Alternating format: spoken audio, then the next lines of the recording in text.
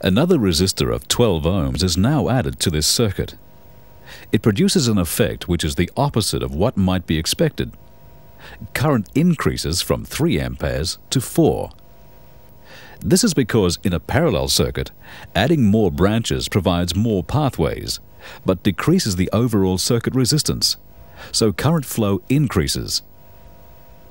Total resistance of a parallel circuit is found by turning all the resistances upside down to make fractions called reciprocals. In this case, each 12 becomes 1 12th. The four twelfths are added together, and the answer turned back up the way it was.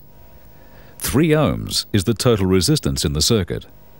Ohm's law confirms the ammeter reading of 4 amperes. Now, if two resistors are removed, what is the result? 1 twelfth plus 1 twelfth is 2 twelfths, which turned back the way it was is 12 over 2, or 6 ohms.